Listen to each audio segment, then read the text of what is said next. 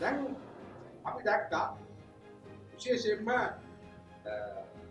මහින්ද අමරවීර ඇමතිවරයා ප්‍රකාශ කරනවා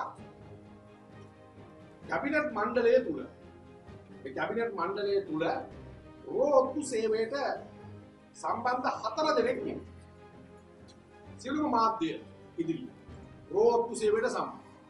දෙදෙනෙකුගේ නම් හෙළි කරනවා ඉතුරු දෙන්නව හොයන දෙදෙනෙකුව දන්නවා මහින්ද අමරවීර ඇමතිවරයා දැන් දන්නවා රෝත්තු සේවයත් එක්ක සම්බන්ධ ශ්‍රී ලංකාවේ කැබිනට් එකේ ඉන්න ඇමතිවරු දෙන්න කවුද?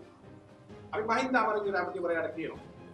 බොහොම පැහැදිලිව රට ඉදිරියේ මේ රෝත්තු සේවයේ ඉන්න ඇමතිවරු හතර දෙනාගේ දෙන්නව අද දවසේ කියනවා. ඒ දෙන්නව කියන්නේ පහු වෙනකම් බලන්න ඉන්න එපා. වැඩේ වැඩේ මේ මේ ගැසුනාට පස්සේ කියලා වැඩක් නැහැ. අරුණා කළා තමන් එක්ක එකට වාඩි ගන්න කැබිනට් ඇමතුරු දෙන්නව නම් කරා. කවුද රෝත්තු සේවයේ ඉන්න කැබිනට් ඇමතුරු දෙන්න? රෝ සංවිධානයට සම්බන්ධ. කවුද ඉතුරු දෙන්න? දැන් අද ලංකාවේ මිනිස්සුන්ට මේ රටේ තීන්දුව තීරණ ගන්න කැබිනට් එක ගැන මොනවද ලැබෙන ආරංචි? කැබිනට් එකේ ඉන්න ඇමතිවරයෙක් කියන රෝත්තු රෝ සංවිධානයේ හතර දෙනෙක් ඉන්නවා. මම මේ කියන්නේ ප්‍රායෝගිකව සහ ඔබ මාධ්‍ය ආයතන වාර්තා කරනවා.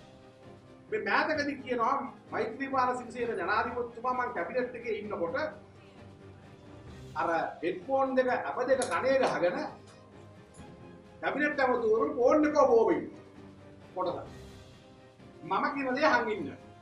දැන් එතකොට බලන්න කැබිනට් එකේ සංඛ්‍යාවෙන් හතරක් රෝත්තු ගන්නවා තව මං හිතන හතරක් පහකට වැඩි සංඛ්‍යාවක් ඇති ෆෝන් එක බෝබ අප දෙක කනේ ගහන හරි. එතකොට ගණන් හදලා බලන්න. ඊළඟට තව ඉන්නවා හොඳ බෑන්ක් රොබරි බෑන්ක් රොබරි වලට එක්ස්පර්ට්ලා මේ කැබිනට් එකේ ඉන්නේ. Train robbery expert train robbery කට්ටිය මේකේ ඉන්නේ. ඊළඟට ඉන්නවා සියලුම පාතාලයට සම්බන්ධ කුඩුසා අනිකුත් ඒවට සම්බන්ධ අයට රැකවල් දෙන තව අය ඉන්නවා. දැන් ඉතින් මේ කැබිනට් එක ඉතුරු වෙලා ඉන්නේ කවුද? දැන් අනන් අදාගෙන කරන් හදාගෙන ගියාම දෙයිහා මුදුරෝනේ රටේ ජාතියට ආගමට සහ මේ රට බේරගන්න එක කැබිනට් එක එක්කෙනෙක්වත් ඉන්නවා කියන එක තමයි ප්‍රශ්නේ තියෙන්නේ.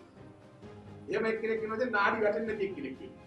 නාඩි වැටෙන ඔක්කොම මේ තත්ත්වයටපත් වෙලා තියෙනවා. හැබැයි මේක කියන්නේ ශ්‍රී ලංකා පොදු ජන පෙරමුණත් ඒකාබද්ධ විපක්ෂයවත් නෙවෙයි.